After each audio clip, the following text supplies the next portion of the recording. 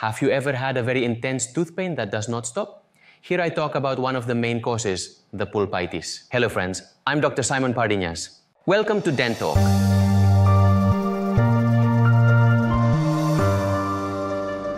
Pulpitis is an inflammation of the dental pulp or nerve of the tooth, which is the vascular and nervous component that is inside the tooth.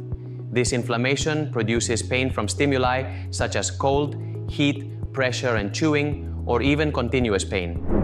As we mentioned, the pulp is the soft tissue that contains the nerves, blood vessels, and connective tissue of the teeth. It is located inside it and is covered by dentin and enamel, two protective layers. The pulp extends from the crown, the visible part of the tooth, to the roots and serves to connect this tissue with the rest of the body, allowing it to nourish itself.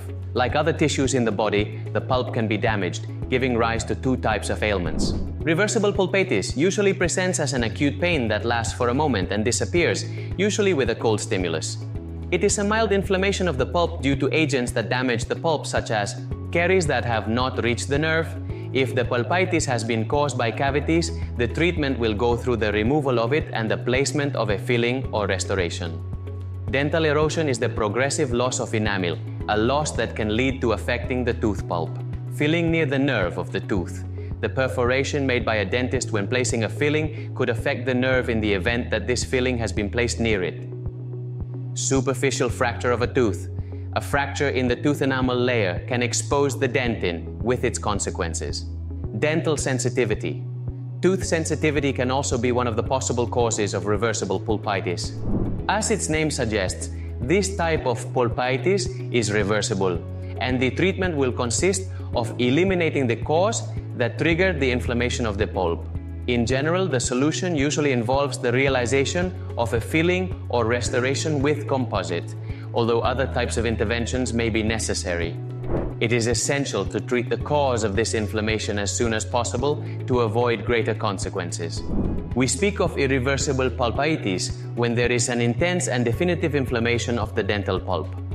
Although in some cases it does not cause any type of symptoms, in general it causes intense and very constant pain. The causes of this type of affection can also be diverse. When the stimulus causing pulpitis is not eliminated in time, the pulp can become irreversibly affected. Normally, when the tooth responds to a heat stimulus that does not stop, the pulp is usually irreversibly affected, it can also occur in cases of very deep caries where a lot of dentin has to be removed and it is very close to the pulp or has even reached it. Another reason for the development of irreversible pulpitis may be a limitation of the blood supply to the pulp, caused either by trauma, orthodontic movements, etc. This necrotic pulp can become contaminated with bacteria and degradation products and produce a bad odor, discoloration, and bad taste in the mouth. As we have already mentioned, the pulp cannot be recovered if it has been irreversibly affected.